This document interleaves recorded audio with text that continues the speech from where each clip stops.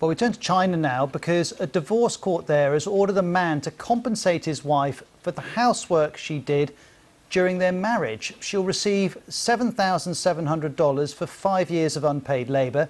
It's generated huge amounts of debate, as you'd imagine, over the value of domestic work. Here's the reaction of one sociologist. It sends a signal to the public that housework and caregiving has values, and it cannot be, it can be compensated and should be compensated in the event of divorce.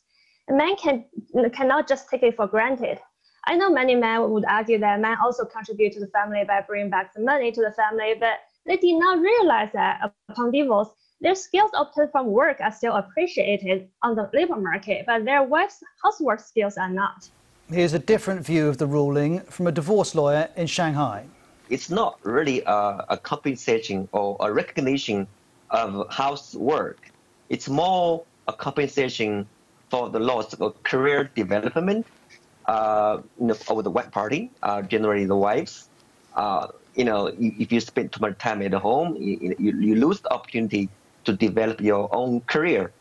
Well, let's bring in BBC China media analyst Kerry Allen. Um, Kerry, fascinating story. Is there any precedent for this? Yes, absolutely. Yes, this has been a huge talking point today on Sina Weibo, China's version of Facebook or Twitter.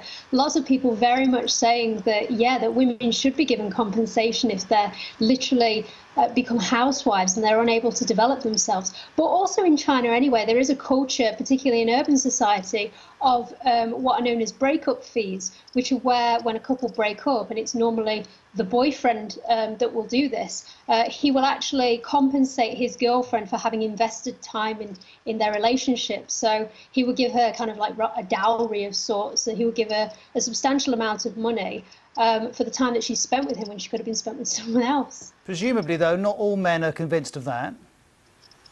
No, not at all. No, this has been a big debate. Um, there's been a lot of media today, uh, very much saying that you know there are a lot of men who are saying that they don't agree with this. They think it's wrong that women should be uh, subsidised in this way. But also a lot of women who are saying that actually they don't think this goes far enough. I mean, the amount of money that this woman's been given doesn't really cover a year's salary, and it wouldn't cover a woman um, who's been out of work um, for having not worked.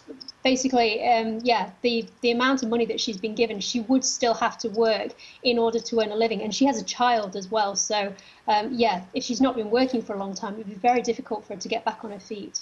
I'm interested that you mentioned she has a child. Does, do the courts take different views of people who are in a relationship but not married, or have children, or are married and do have children? Yeah, absolutely. I mean, this this civil code as a whole is trying to discourage people from getting divorced. Full stop. Um, so there are other things that it factors in as well. Um, so the civil code, as well as looking at housework and uh, and and and ch childcare, um, it also is trying to introduce what is known as a cool-off period, so that couples spend 30 days um, thinking about whether they really want to get divorced. And so state media are heavily promoting this story because they want to send a message that if people get divorced, there will be consequences. Okay, Kerry, thank you very much indeed. Just before we wrap up this hour of Outside Source,